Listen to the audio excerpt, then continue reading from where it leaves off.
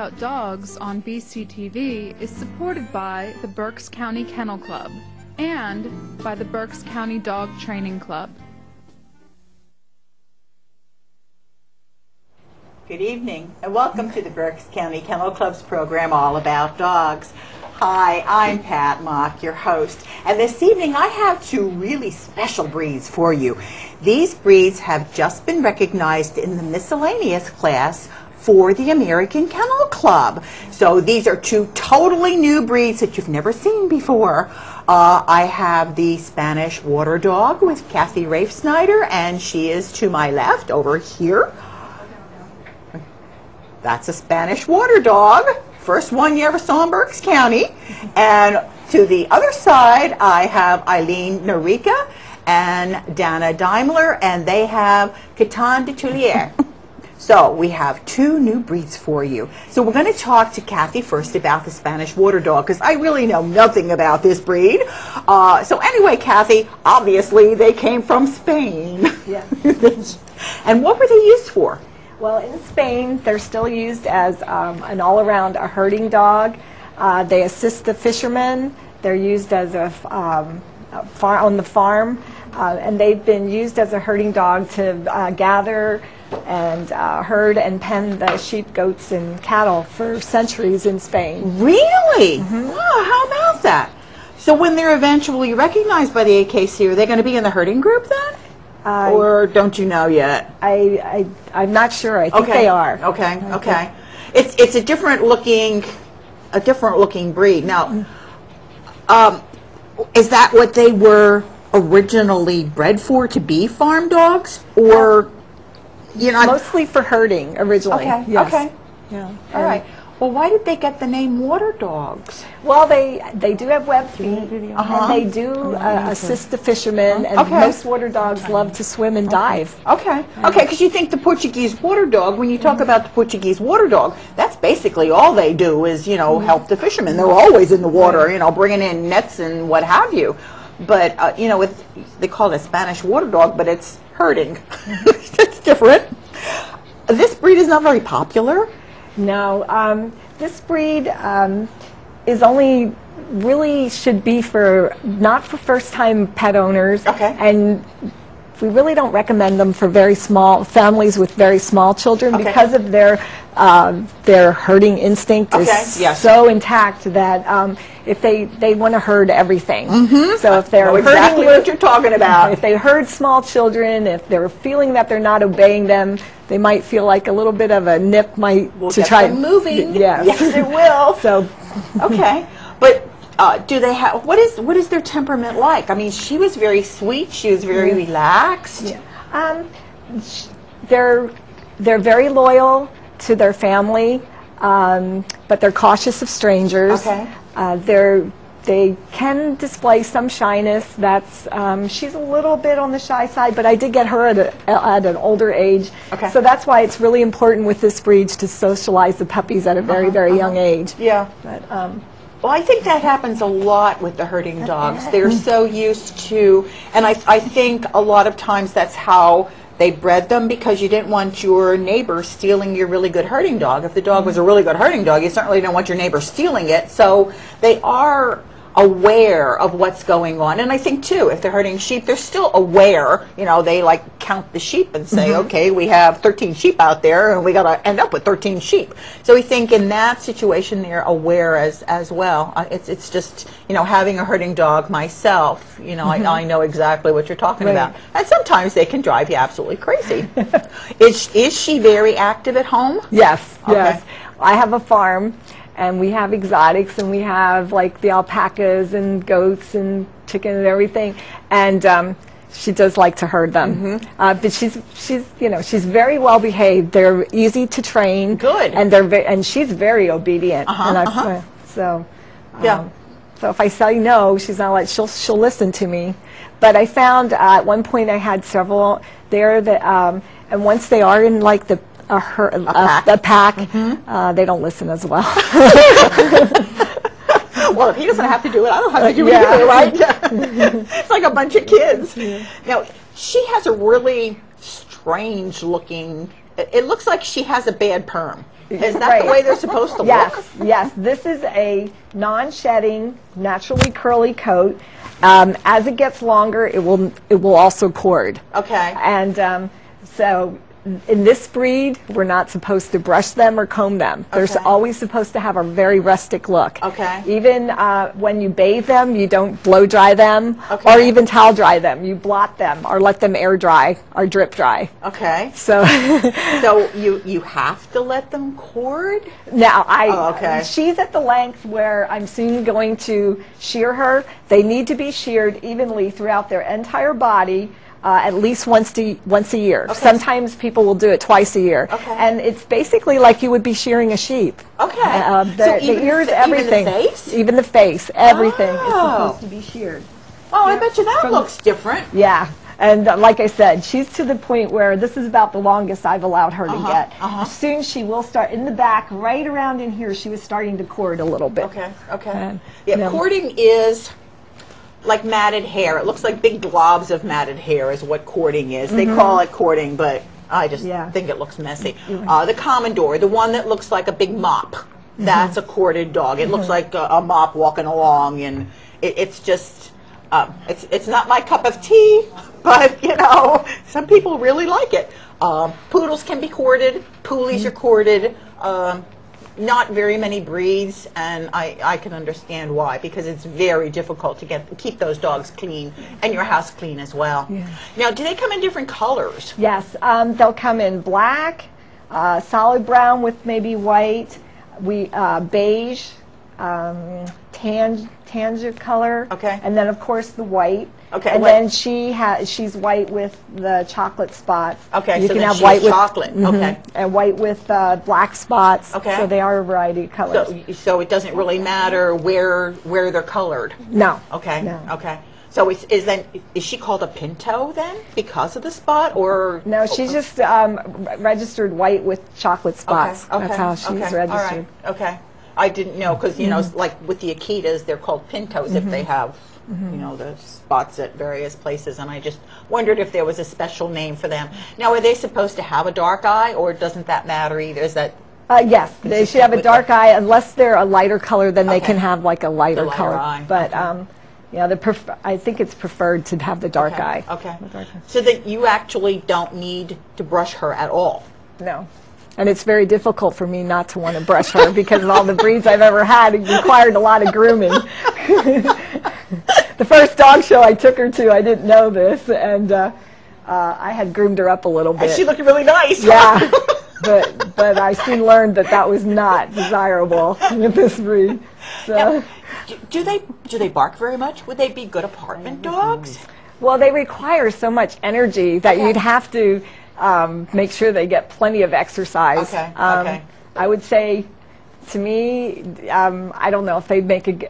I guess if the person, if the family they lived with was a high energy, active family Yeah, and lived yeah. near a park and got them out uh-huh. and they love to play, you know, fly ball and running and, um, you know, she's nonstop when she will, you know, she loves to go for walks and uh, But they're, the water good with kids. Yes. older kids, I would say. okay. Uh, and you know, I'm saying there are exceptions. I know my girlfriend has eight kids and has, uh, you know, these guys, and they have no problems. They're all ages, the handicapped kids. Mm-hmm. Right. But they, you know, they. Because it's so new, and we, uh, they just are recommending that be very careful before you go out and buy one of these dogs. Make sure that you do a lot of research, like you should with any breed. Right. And, and um, but we do know that you know the temperament is a factor, and because of the very strong herding instinct, they do anything they want to herd little things. Like, And I, I myself have seen her try to herd my grandchildren. Yeah. Yeah. Yeah, it, it's just the instinct is Yeah. Mm-hmm. so strong that they're, and, and that's what they were bred for. So Yeah. for generations, you're, you're not going to train it out of them in, you know, one generation. Right. It's just, you're just not. And, but they are, like you said, they are easy to train. You know, Mm-hmm. they really are because they want to please their owner. Right. Oh, yeah. She, Yeah. This she is totally my dog. So loyal to me, and uh, you know I feel very safe when she's with me. Mm-hmm. Yeah. Um, what kind of medical problems do they have? Health problems? Um, right over in Spain and the European countries, they didn't do a lot of health testing. They are now, But now uh, in the United States, we're checking, of course, hips, Yes. um, PRAs for eyes, thyroid, and of course, temperament. Okay, So- okay. But I, I would think the most thing right now would be the hip dysplasia Okay. uh, to watch. Yeah. And some of them, now she, does, she doesn't have any of those problems. I'm very lucky because her mother was imported from Scandinavia, Okay. and that is a country that has done a lot of testing. They, do, they are not allowed to breed unless their Yes. dogs pass all Yes. their testing. Yes, that's so her exactly mom was right. Her mom was uh, from there, so she's good. And um, but some of them develop allergies also. Okay. That's a okay. problem. Why why did you why did you select this breed? I was at a dog show showing little, uh, they're called Bivas. They're little Yorkshire Terriers from Germany. They're black, white, and tan. They're a rare breed also. And I saw a lady walk in, and she had one under each arm. And when I saw it, I was like, wow, that was the cutest dog. And so I did a lot of research. I found a breeder. Uh, went there, and uh, Maria was a little bit older, and she hadn't been really socialized. Um, so um, I bought her the middle of January and brought her home and I took her to handling Berks County handling classes the first Monday in March and the first the first class we couldn't take her out of the crate. She was so scared and ah. upset. And so the instructor just said let's just a couple people pet her. And then the second week I took I w- took her and we had the little beaver there and I had her out early. And when the class started she started crying like she wanted to join in. So mm-hmm. I took her out and it was like a completely different dog. And then the following Monday I said to the instructor do you think I could enter her at the at the rare breed show that was going to be at the uh-huh. expo and she's like well give it a try and and I did and she won her junior championship that weekend Wow, that's wonderful. she was she's undefeated actually Yeah, yeah. that's great. That's very good. Yeah, so this this is a breed that well, both breeds you'll be able to see at the Berks County Kennel mm-hmm. Club show in September. So you know, if, if you want to see some rare breed, I think they have wow quite a quite a few in the miscellaneous class. I think there must ten or twelve different breeds. Now, you know, we don't know whether they'll all be entered, but uh, you, you'll probably be able to see some Portuguese, uh, some Spanish water, uh, Portuguese water dogs, so Spanish water dogs, and some Cotons. So, you know, write it on your calendar, September 16th. I know it's it's next month, but hey, we're in the middle of August already. You know, where'd the summer go?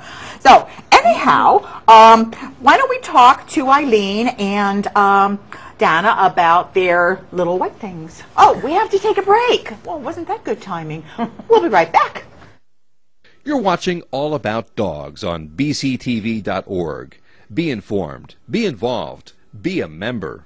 For membership information, go to www.bctv.org slash support slash membership. For more information and other stories about animals and pets, go to www.bctv.org. All About Dogs is underwritten by the Berks County Kennel Club and by Berks Dog Training Club. For more information on how you and your business can become program underwriters, go to www.bctv.org.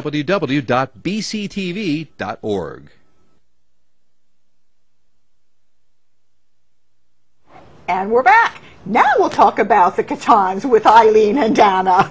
Those are those little white things over here on the on the floor, on her lap, all over the place. These little white puffballs.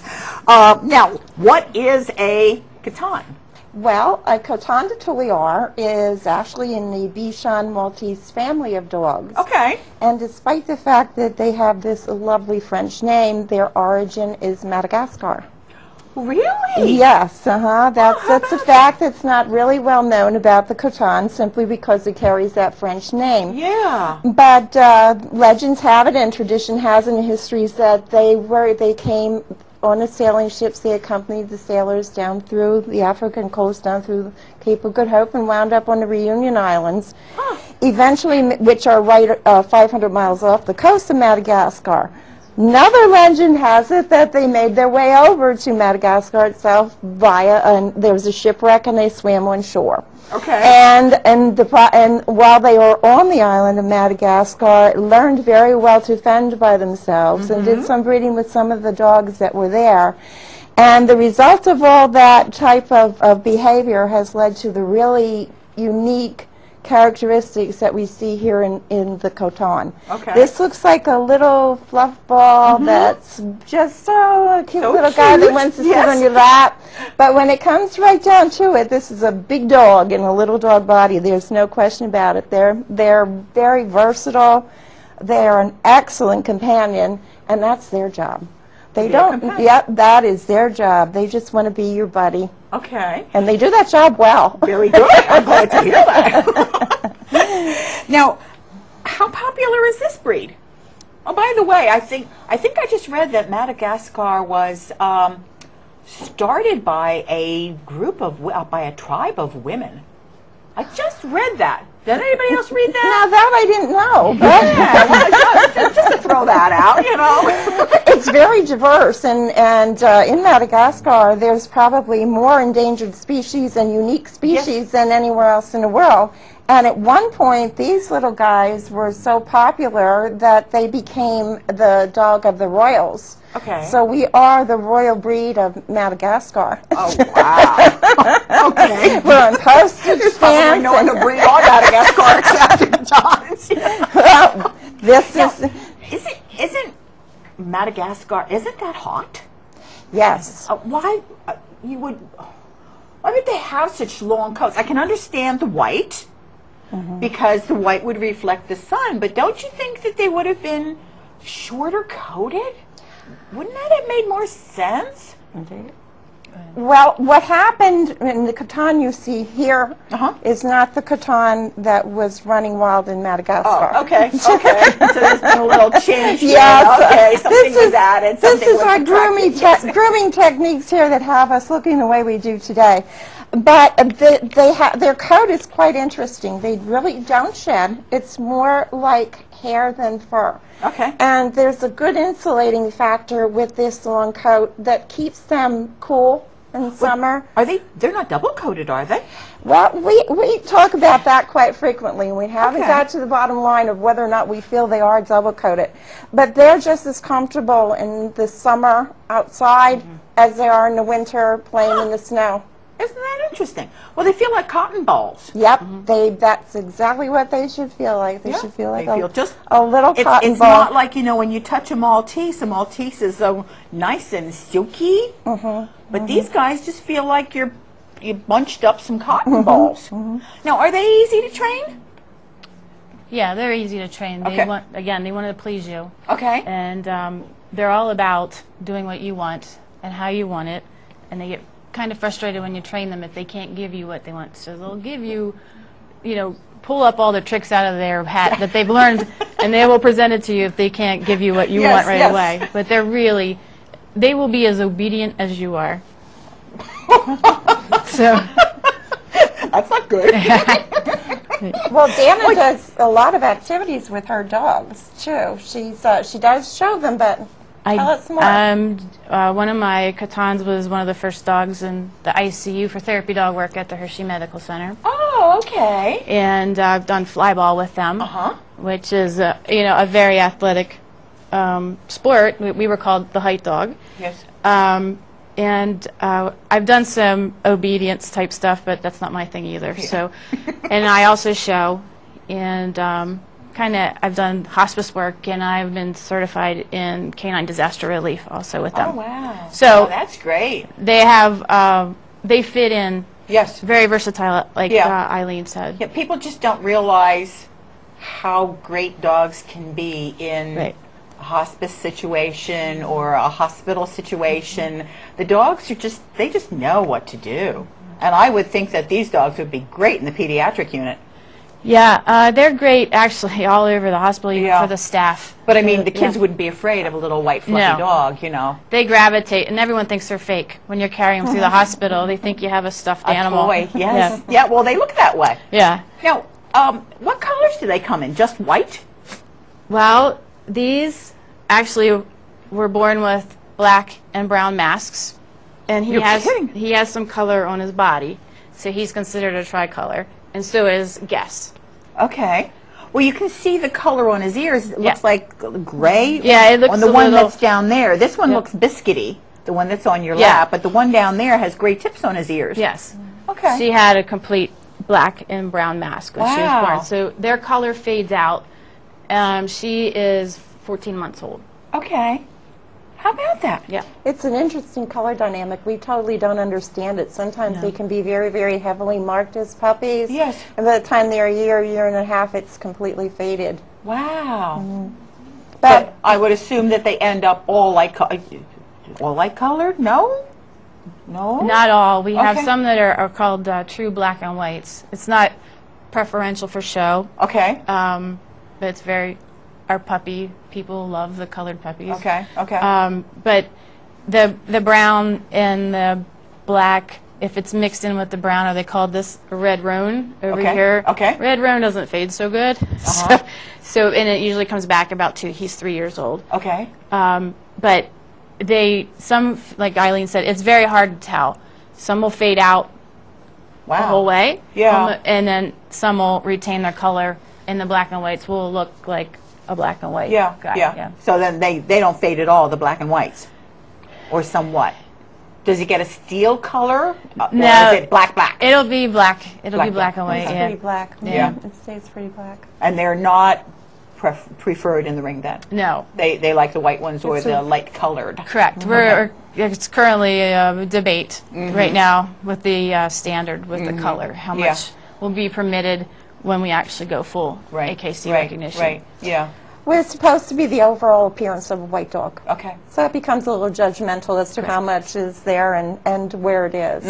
The other thing that's great with these guys, too, is they're excellent with, for people with allergies. Okay. I've had great success placing mine in homes where people have not been able to tolerate Mm-hmm. uh, another breed of dog, but the Coton, I think it's because of we are the more hair than yes, fur, and we don't shed or have dander, so it makes a, a big difference. Now, how often, obviously, they're, they're long and he's short, right? Is this a puppy cut He's in a him? puppy Okay. cut. hmm You want to pick him up so we can see him. Oh, look at Yeah, that I I don't know if he wants to move. I think he's falling in love with this particular.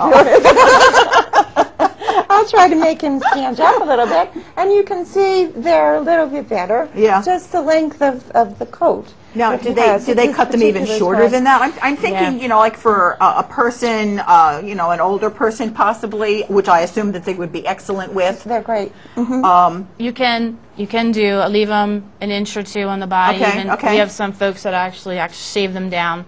Okay. They will take. You want to retain the head a Uh-huh. little bit longer, so you Yes. have the look of the Coton.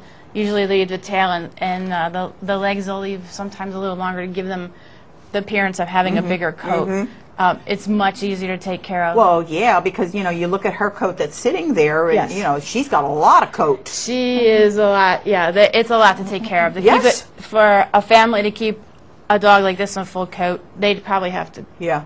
I'm, and I'm assuming what's that it? would probably mat if you're Oh. not. Oh, Okay. yes. Okay. How often do you have to broom, groom?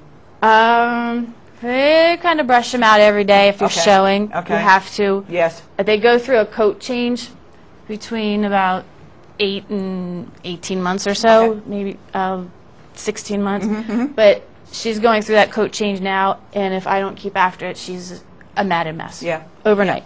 And the humidity has exasperated They have the bad hair days too, huh? They have really bad hair days. That's why most companion owners keep them in the Yes. puppy cuts. Yes. It's so much easier to Oh, handle. sure. And they're cute. They look cute in the little That's exactly cut. right. They look mm-hmm. cute in the puppy cut, and it's so mm-hmm. much less work. Uh, mm-hmm. people just don't have the time. No. You know, even like with the Maltese, they cut the Maltese down, they cut the Yorkies down because they just don't have the time to groom. You know, people have busy lives. Um, what did I want to ask? Okay. Oh, they would make good apartment dogs. They're not barking? Excellent. Okay. We okay. place a lot of uh, Cotons in New York City. Oh, Eileen, okay. I know, has um, a lot of dogs up Okay. in actual New York City apartments. yeah. New York, uh, folks ask if they can use um, a wee wee mat or go on Mm-hmm, on their balcony, and they really can. They're very easy to train that way, Yeah, good. and they're they'd be happy, you know. So they don't really require very much exercise. They probably race around the house. They race it. around the house. They you know bound your uh, sofa. They like to be on things that are high. Okay. They like to be on the back of the sofa or you know walk across your end table or. Well, they um, look like pretty sturdy little guys. They're very sturdy. They are not, like Eileen said, they're uh, a big dog in a little dog body. They have no clue that they're only 9 to 14 Mm-hmm. little, right? pounds. Right. And their activity level is going to vary to suit their owners Yeah. also. Mm-hmm. Yeah. They excel at agility. They absolutely excel at agility. Some of the top dogs in the country are actually Cotons. Wow, wonderful, wonderful. Now, uh, what kind of health problems do you all have? At this point in time, I can't. I am hard pressed to say that there's one overall health problem Okay. that you're going to see in a Coton de Tulear. We actually do, we do our the the typical health Mm-hmm, testing um, where they might be some patella issues, but that's pretty typical of a small kneecaps, dog. yeah, Mhm. yeah. Most small and dogs have and that problem. occasionally you may find a thyroid or, or heart problem. Okay. But as a rule, it's a pretty healthy dog. Okay. That understand they do have issues, but it's not something that's uh, uh, uh, overall in the breed. Okay, okay. More or less isolated. So Right, right. It's a it's a good, he- healthy, sturdy little little kid. Good. and and when they are not on TV and know that the lights are on them, they're quite entertaining. So they're missing, you're missing a lot of their clown-like behavior. They love to get up on the back legs and dance. Oh my! It's, it's one of the, the characteristics of the breed. They're little dancers. That How about that? But they're all in their best. Look at that face. I mean, you know, come on. mommy told me to be I good. almost, I almost want one. no, no, no, no. My, my size dog is even bigger than that. I, I like a big dog. I don't want to bend over for one. Why did you They'll select? jump in your arms. Why did you select this breed? I got. I actually have had a Bichon, and um, her temperament wasn't the best, and I wanted to get into activities like therapy dog work, and I sought a breed that was suitable for therapy dog work.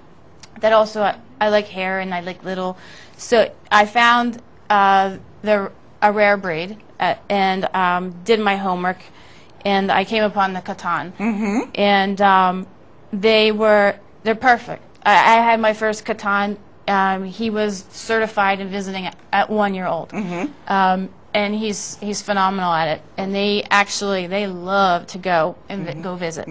Um, so that's exactly why I got my first Coton. Um, and I, you know, I I breed occasionally. I don't do it a lot, but I did it.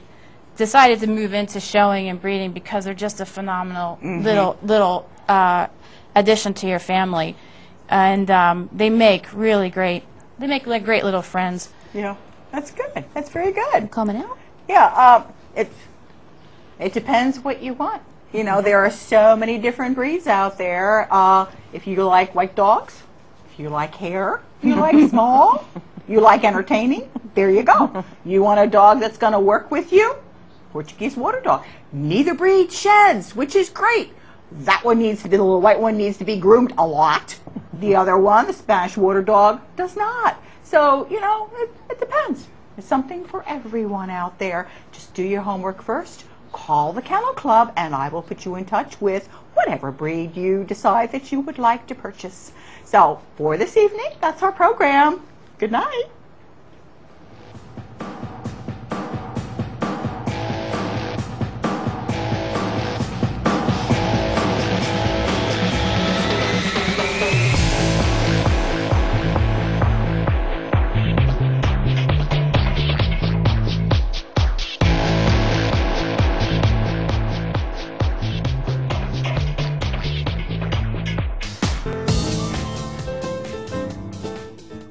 About Dogs on BCTV is supported by the Berks County Kennel Club and by the Berks County Dog Training Club.